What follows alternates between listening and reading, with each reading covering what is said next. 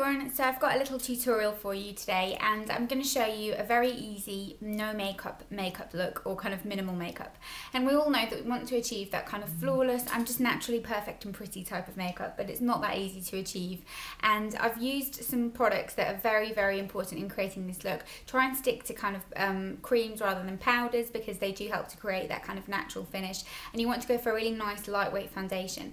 Now this type of look can really differ in terms of what it looks like. Your minimal makeup might be a tinted moisturiser and some mascara. Someone else's might involve black eyeliner. It's very much down to what you're comfortable with. But to me, this is the kind of minimal um, look that I would go for if I wanted to look like I was just naturally pretty but not making too much of an effort and not wearing much makeup. This is the look that I would go for. And I hope you enjoy it. I've, gonna, I've listed all the products down below and I'm going to show you my real no makeup makeup face now start off with, this is what my real no makeup makeup face looks like. And you can see I've kind of got quite a bit of redness on my skin. I've got pigmentation on my nose and on my cheeks. Um, I've got a nice little blemish coming out here. And my skin's just generally not that fantastic. It's not terrible, but it's not great in terms of the tone of it. So I'm going to start off with foundation. And when you're choosing foundation, you want to choose something that's really light, but that still will give you that kind of beautiful finish. And what I've been loving lately is the L'Oreal Nude Magique Eau de Teint, I think that's how you pronounce it. Really light coverage, but gives a really beautiful finish. And you need to make sure you give it a really good shake before you start using it. So shake it really, really well. And then start to just apply. I've got it in the shade um, 150 Nude Beige, and this is a nice match for me. But because it's quite sheer in texture, you can kind of get away with the colour not being perfect and just start applying it where you feel like you need it. You can see that the texture of it is very, very light. It's not a very kind of thick foundation. It's very, very liquid. So I'm going to use a brush. This is the Zoeva Grand Stippling brush. You could just use your hands. You get a kind of um, very natural finish with your hands, but this is such an easy foundation to blend. It practically blends itself. Once you've got the colour right, you kind of really don't need to do much work and it just kind of disappears into the skin it's kind of a little bit annoying to apply because you don't have a pump or anything. So you have to just kind of drag it out. But I like to just make sure that I've got a nice even coverage everywhere and I don't try and kind of cover everything with it because this isn't that type of product. You're not going to get kind of that flawless finish with this because it hasn't got that amount of coverage. So just put it kind of all over just to start giving yourself a nice base. I know someone's going to ask why I don't put it on my forehead but it's generally because it breaks me out and I don't think you should put coverage just for the sake of putting it. So just put it where you need it. You don't have to kind of apply it all over. And lately I've been finding that my skin has just been being so red that I kind of just need to concentrate it on kind of my chin and nose area more so than anywhere else. So that's kind of it for foundation. It kind of smells strange. It's got a little bit of an artificial smell, but nothing um, too bad. So I just kind of stipple that in all over and make sure I've got a nice thin covering of it so that's it. You can see my skin just looks a little bit better but it still looks very very natural. Then for concealer I'm going to just apply a little bit of face concealer first and I'm going to use the 17 Stay Time concealer just because this is a nice one for kind of um, touching up any areas on your face that may need a bit of concealing. So I've got a few little blemishes here. I keep getting little breakouts on my chin. And just kind of anywhere that you feel like you need that little bit of extra coverage. My skin's just been kind of having um, sort of some hormone, hormonal breakouts lately. And I've been very, very stressed as well, and my skin just reacts badly to that. So I'm just using a little buffing brush. This is the Zoeva Concealer Buffer Brush, just to kind of buff away any um, problem areas. Then I'm going to go ahead and apply some under eye concealer. And for under eyes, don't use anything too cakey. I've been loving the Miners Fresh Face Concealer just because it's very, very light and it gives you that kind of pretty awake look, but it's not too um, cakey looking. So I've just been applying this kind of all over. You do need quite a generous amount because the coverage of this isn't um, that fantastic. And then with the same little buffing brush, just buff this all over really get it into where you're the most dark and then with your finger just press it because that helps to kind of again give that really pretty natural finish and it doesn't cover kind of every tiny little thing but it just gives you that pretty nice glow.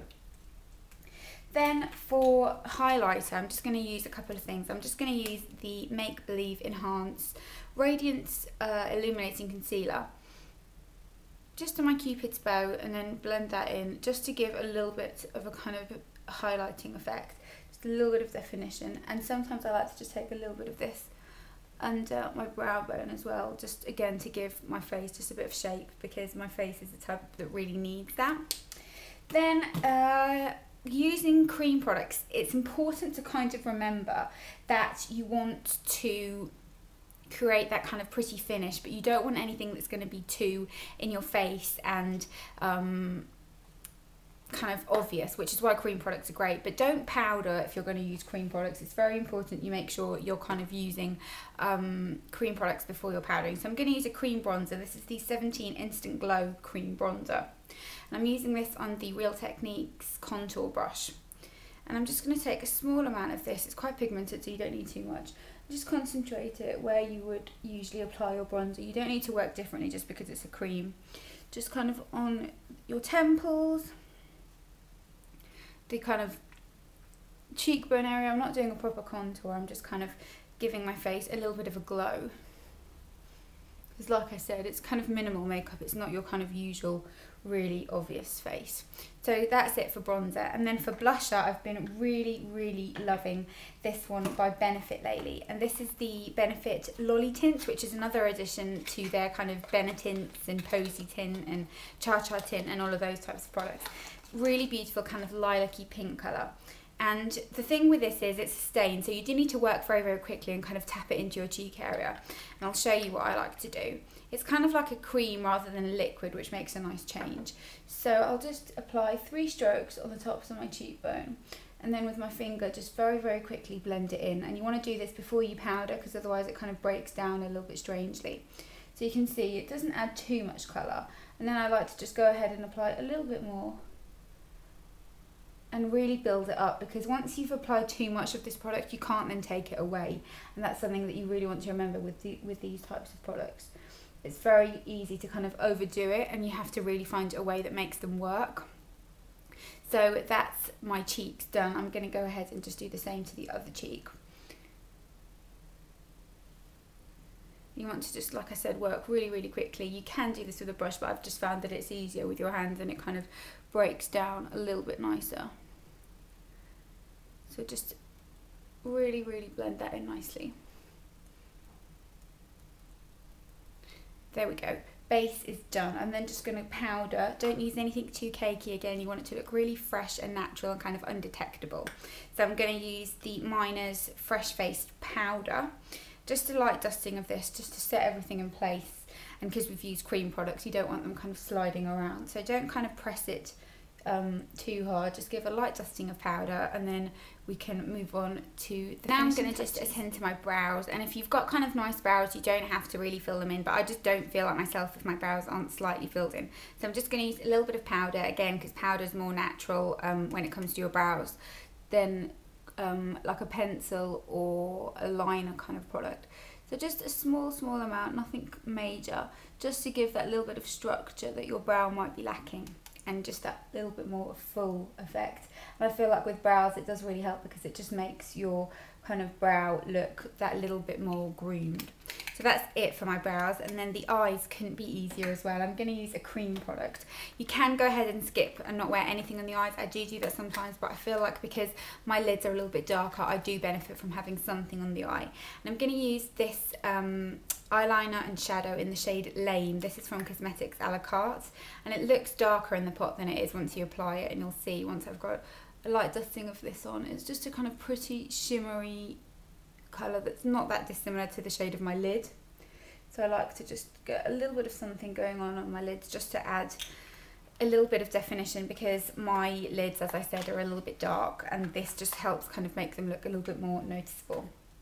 Then for mascara, you want to use something that's very natural looking. This isn't my favourite mascara ever, but when I want to look natural, I will go for this. And this is the Soap and Glory Thick and Fast Mascara, which I'll show you. The wand looks like this. And once you've applied this, I'll show you a close-up in a minute. It does kind of give a very natural lash, which is great if you're trying to look like you've not Now I've got my mascara on, and you can see it just gives a very kind of natural lash, but just gives a little bit of lift. Only apply it onto the top lashes because bottom lash mascara is very, very noticeable, and it won't look like you're not wearing anything on them. Then last but not least, lips. I'm going to slightly line my lips just because my lips really need it and this is a total basic step for me. If you don't ever normally do this, totally skip this step. It's not something that's a must. But I'm just using this nude lip liner. This is from Essence and it's called In the Nude.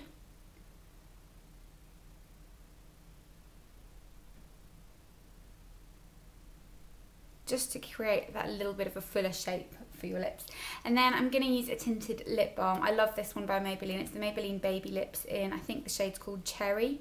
Just a really pretty, juicy kind of colour that adds a little bit of gloss a little bit of a pink sheen, but nothing too noticeable. So you still look like you've not got much on your face.